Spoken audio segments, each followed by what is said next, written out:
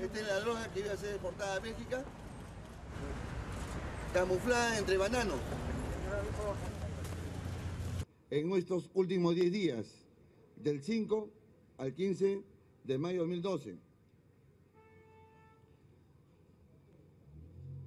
se han realizado 14 operaciones, lo cual ha permitido la detención de 33 peruanos y extranjeros, así como el decomiso de 2 toneladas 411 kilos de acalé de cocaína, de Gitz, canadiense de 62 años.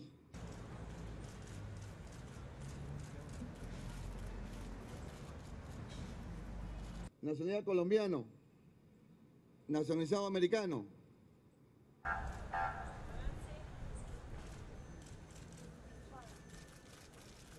eslovaco de 38 años, en la modalidad de acondicionamiento de maleta.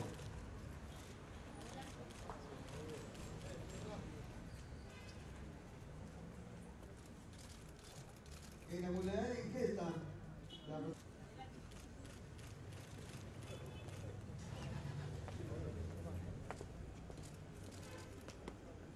de 23 años de Estonia, modalidad de ingesta.